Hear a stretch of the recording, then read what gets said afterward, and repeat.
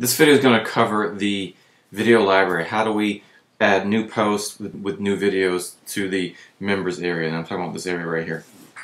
Um, it's pretty pretty straightforward. What we're going to do is go to the admin section. We want to find videos. Okay, and the first thing I want to point out is categories. You can create categories two different ways, and by category, I'm referring to is PowerScript or object orientation or whatever. These little tags right here. We can do that two ways. We can actually just go to videos categories and create one.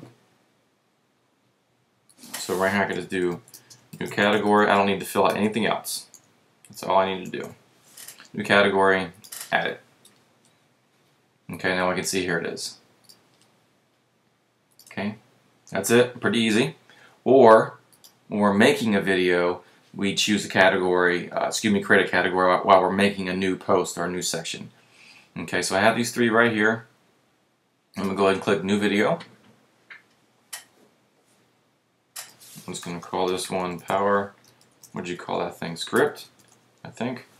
Alright, and then what we want to do is um, do our excerpt. My excerpt, I mean this little bit of block of text right here. So let me just copy this gibberish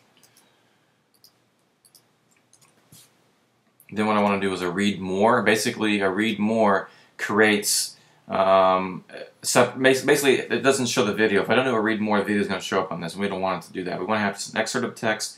They have to click it to see the full video, right? So inserting the read more, which we find right here, takes care of that.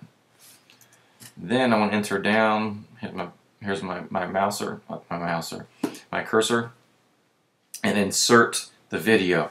Now I'm hoping you're going to use YouTube.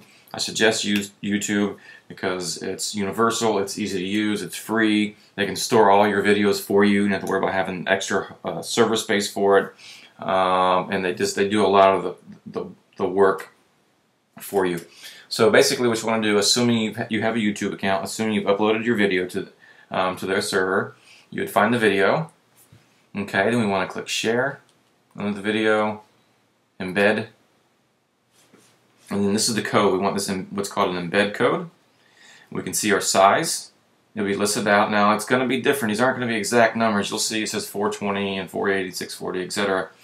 That's all dependent on the size of the video that the person uploads. So choose the video that, that best works for you. I think we're using a 640, I believe.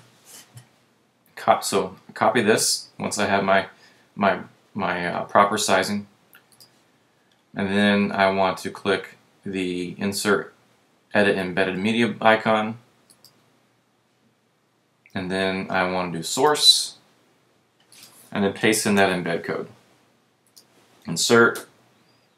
Make sure I have my um, category selected. Add a new one if I need to. Let's publish this. Let's go ahead and refresh There we are, there's a new one. And there's our video.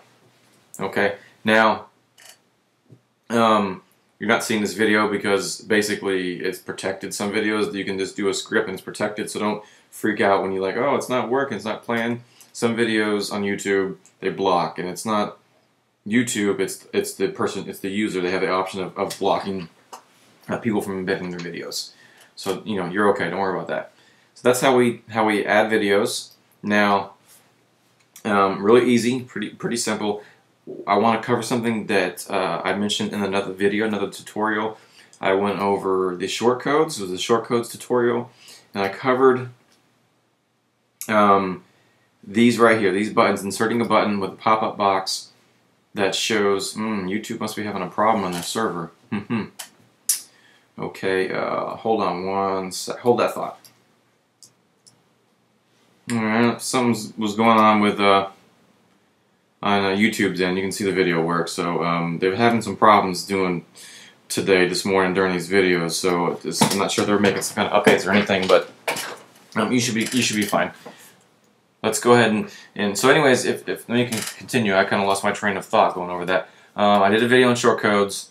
And I mentioned in the video in this pop-up box that I wasn't too happy with how we were inserting the code to show this video. and that I possibly, possibly may change that to make it easier on you. Um, I've done so, so I've changed that, and I want to touch base on how to do this. Um, that way you know how that works in case you need to insert these or update these these videos on this page or you know or, or create them for an, uh, another section.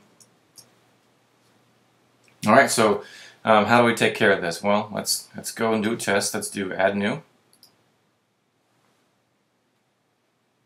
Okay, so let's see video. If I can spell. See videos here. Can't a better uh, title. Um, what I want to do is basically click this little shortcut icon for video button and insert insert just the embed code, or excuse me, the uh, ID code. And the ID code we find on YouTube, which is this little number here, this little alphabetic, whatever alphanumeric uh, section. Um, you can find it there. You can also find it here. But, but every single video, no matter what I touch or whatever I select, it's going to have this ID. So I select that ID.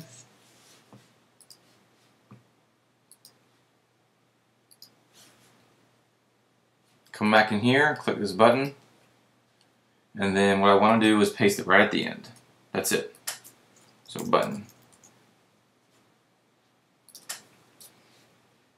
Publish, let's check it to make sure I am not too crazy.